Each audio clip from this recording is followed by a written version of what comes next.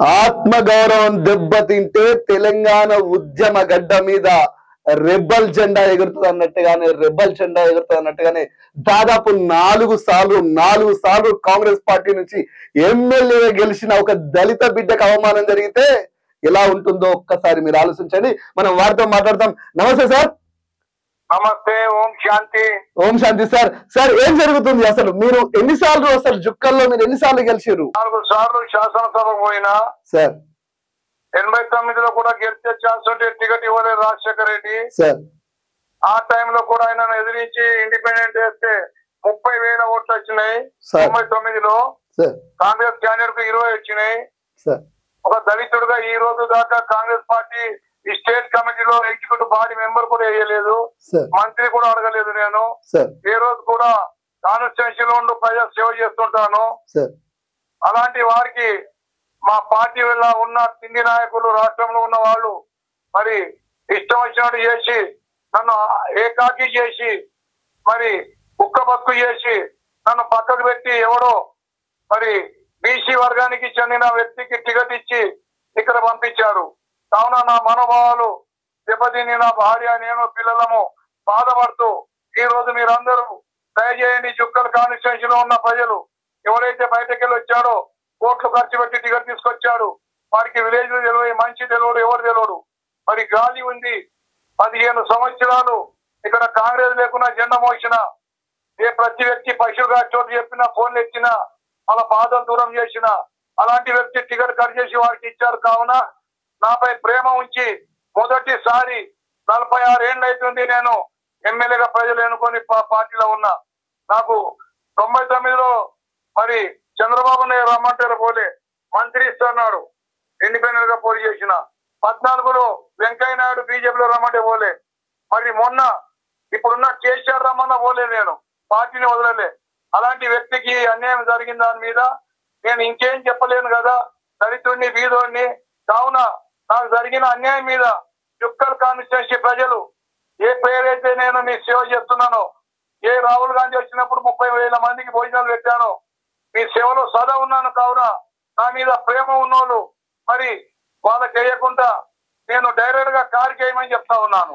నిజంగా నిజంగా నిజంగా నలభై ఆరు సంవత్సరాల ప్రజాక్షేత్రంలో ప్రజల కోసం బతుకుతూ ఒక దళిత బిడ్డ ఇంత గొప్పగా పనిచేసి నిస్వార్థంగా నిజాయితీగా పనిచేసినటువంటి వ్యక్తికి అన్యాయం జరిగితే ఎలా ఉంటుందో మనం చూస్తున్నాం. వారి మాటల్లోనే వారి నిజంగా వారు మాట్లాడుతుంటే నా తండ్రి బాధపడ్డట్టే అనిపిస్తుంది. నిజంగా గంగారాం గారు మీరు ఏకాకి కాదు వనమించిన కోత అసలే కాదు. ముమ్మాటికి మీరు తెలంగాణ బిడ్డల పక్షాన నిలబడ్డరు.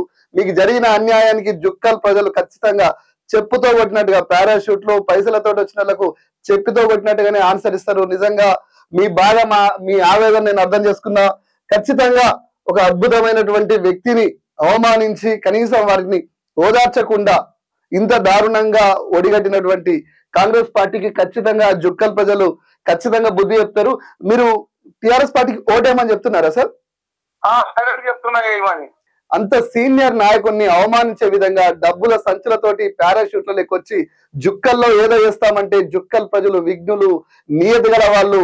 మా గంగారాం మా తండ్రి లాంటి గంగారాంను మోసం చేసిన కాంగ్రెస్ పార్టీకి ముమ్మాటికి ఓటేయమని చెప్పేసి మీ మాటను ఖచ్చితంగా స్వీకరిస్తారు. మీరు చెప్పినట్టుగానే ఖచ్చితంగా ఖచ్చితంగా టిఆర్ఎస్ పార్టీకి ఓటేస్తారు కారు గుర్తును గెలిపిస్తారు. గతంలో హనుమంత్ షిండే ఇక్కడ అక్కడే పుట్టిన బిడ్డ స్థానికుడు ఇలా ఇద్దరు చూస్తున్నాం మనం.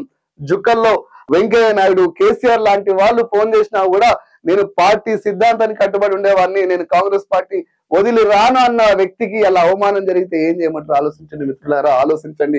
ఇది ఆవేశంలో తీసుకున్న నిర్ణయం కాదు ఇది అవమానంతో తీసుకున్న నిర్ణయం.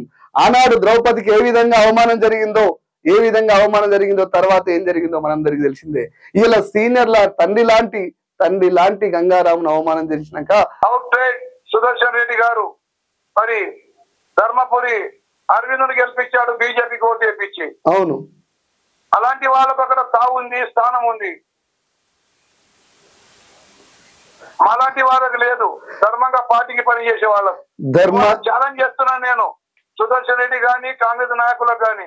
సుదర్శన్ రెడ్డి బీజేపీకి ఏమని మద మధుగోడికి ఓడగొట్టిందా లేదా అనుమానండి ఇవాళ మాట్లాడమనండి సుదర్శన్ ఖచ్చిత- సుదర్శన్ రెడ్డికి. ఖచ్చితంగా సుదర్శన్ రెడ్డి వింటాడు మాట. ఒక- బీదవాడు చేయగలిగితే సుదర్శన్ రెడ్డికి మరి చేయగలుగుంటాడు ఎంబడే దళితుల ఓట్లు కావాలా? ముస్లింల ఓట్లు కావాలా? అని వాడు చేయగలిగితే చేయగలుగుంటాడు. ఓదంగా నేను మగోడిని అనుకుంటున్నాడు. అలాంటి వాడు బీజేపీకి పని చేసిన వాడికి వాల్యూ ఉంది. కానీ నేనేం తప్పు చేసినని మరి కాంగ్రెస్ నాయకులు దీనికి జవాబు ఇవ్వాలా? వాళ్ళ కనీసం సమాధానం చెప్పలేని పరిస్థితిలో ఇప్పుడున్న దొంగ దొంగలు జాయిన్ అయినటువంటి ఓటు నోటు దొంగలు జాయిన్ అయినటువంటి కాంగ్రెస్ పార్టీలో ఆన్సర్ ఎట్లా ఆలోచించాలి?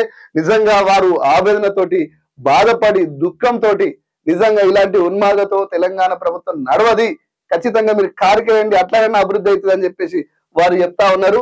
నిజంగా ఇది ఈ రోజు మనం ఎన్నో రెగ్యులర్గా పొలిటికల్ న్యూస్లు చెప్తుంటాం. కానీ ఒక తండ్రి లాంటి గంగారాం గారి మాటలు వింటుంటే నిజంగా నిజంగా ఇలా ప్రతి ఒక్కరు ఆలోచించాల్సినటువంటి పరిస్థితి వచ్చింది.